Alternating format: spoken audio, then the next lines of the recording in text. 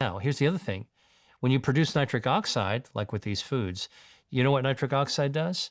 It recruits stem cells, healthy stem cells, not cancer stem cells, but healthy stem cells from your bone marrow.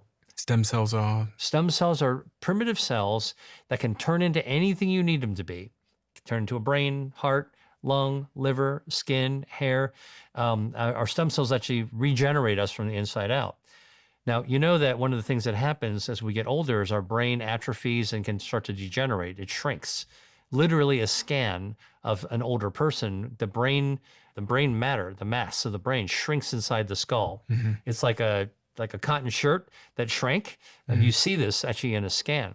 And so, in order to be able to try to keep the shrinking from happening, you want to make sure there's good blood flow going, mm-hmm. which actually helps to keep the brain growing in a healthy and maintained in a healthy sort of way.